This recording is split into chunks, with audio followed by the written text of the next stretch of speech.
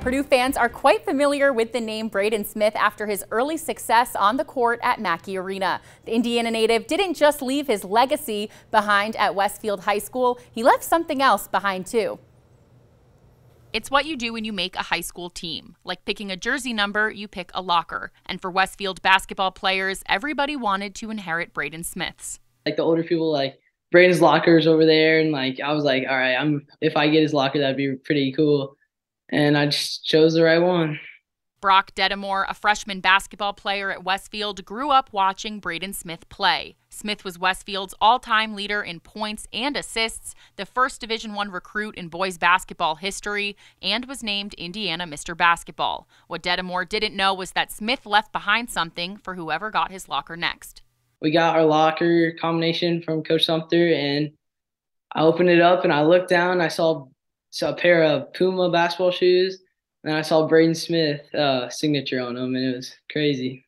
At first, Dedamore thought someone accidentally left shoes behind until he saw Smith's catchphrase written on the shoe. I picked them up and I saw a signature on it, Braden Smith, stay peaky. It was really cool. Smith's phrase, stay peaky, and his nickname Peaky B comes from his love of the show Peaky Blinders. The name has even stuck here at Purdue. I kind of showed it to everybody at Westfield. I was like, hey, this show's good. Like, it's my favorite show. So they're all like, all right, I guess we'll check it out. And then they started liking it. So then uh, they just started calling me Peaky. So then, like, everything I kind of do is just kind of revolved around that. Smith said he broke through multiple pairs of sneakers while playing basketball, but the pair he left behind was a good pair of Pumas that he knew he couldn't wear again since Purdue is a Nike school.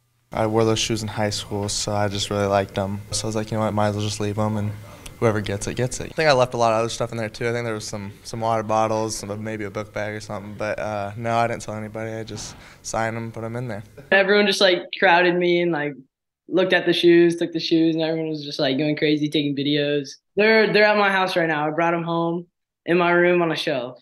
Dedamore said even though he is an Indiana fan, he will still be watching and cheering on Braden this season with Purdue. As for Smith, he's happy that his legacy lives on at Westfield. I mean, I'm not the tallest, I'm not the biggest, so I mean, like, it shows that it's possible. Like, if you're willing to keep your head down and keep working, that everything is possible and it will work out. Dedamore told me that if he plays as well as Braden did at Westfield, he thinks he might leave something behind in that locker as well for the next player. Yeah, that's pretty good. Maybe it's great. a lucky locker. Is he any good? Uh, he's only a freshman, so we don't know yet. We'll see. Yeah, wow. Okay, something to watch.